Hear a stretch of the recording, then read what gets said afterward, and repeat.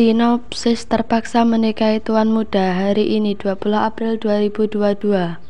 Pada episode kali ini, Reno yang mengetahui siapa penyebab terjadinya keguguran ini pun hanya bisa diam. Karena ia takut salah berucap sebab yang meracuni Friska adalah ibunya sendiri, yaitu Anita. Di titik inilah Reno mulai menyadari sesuatu bahwa Anita sudah terlampau kejam. Reno kini tengah dijodohkan dengan seorang wanita cantik bernama Freja. Satria berkata pada Reno bahwa Freja merupakan anak miliarder ternama, jadi Reno harus bersikap baik padanya agar ayah Freja mau membantu usaha Satria.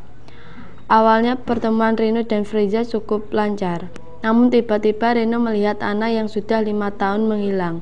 Tanpa basa-basi, Reno meninggalkan Freya yang mengejar Ana yang saat itu bernaik angkot.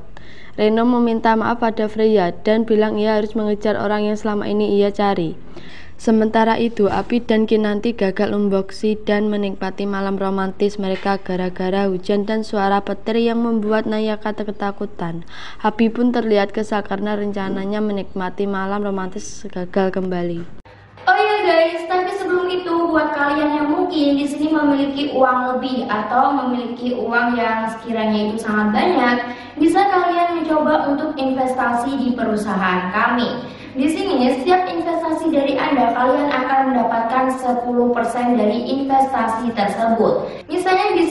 Kalian bisa investasi 100 juta, 200 juta, 300 juta, 500 juta atau bahkan 1 miliar sekalipun.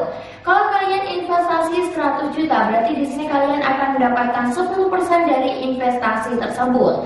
Semisal, kalau kalian investasi 100 juta, kalian akan mendapatkan 10 juta.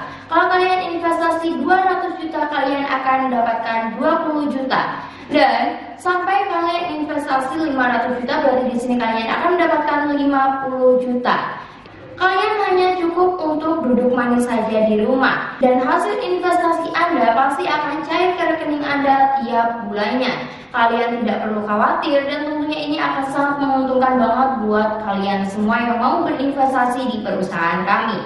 Dan tentunya uang investasi dari kalian itu akan kita gunakan untuk memperbesar usaha di cabang-cabang lainnya. Jadi buat kalian yang mau investasi atau buat kalian yang ingin tanya-tanya terlebih dahulu, bisa banget buat kalian hubungi kontak person di nomor 0852 8282 7568 atau kalian juga bisa menanyakan lewat email atau tanya-tanya di kolom komentar. Oke guys, semoga kalian tertarik untuk mengikuti investasi di perusahaan kami.